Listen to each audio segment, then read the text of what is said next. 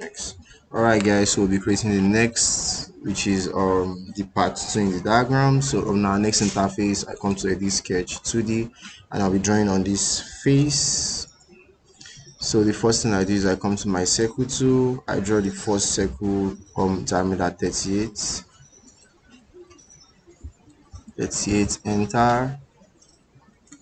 I right click ok then sorry let me zoom out I come here from the edge downwards. I draw a circle of height 38 plus 16 that should give us 50 something. 16 plus 16 54 so I have distance 54 enter uh, sorry let me zoom out so you can see clearly what it is. Then I have on the right hand side 38 so I just need my line to be straight so I have 38 enter then I come upwards back to this guy tangent okay. Okay. So I come to my trim tool. Always eager to cut away things that are useless actually. Right click and okay. So I come to circle tool again. I just circle diameter 12 one to enter and right click.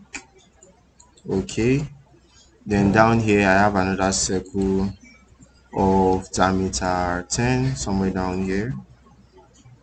I click 10 enter then I pick my dimension tool the center to the ground. Is 16 enter. I right click ok and I finish my sketch. So next I want to do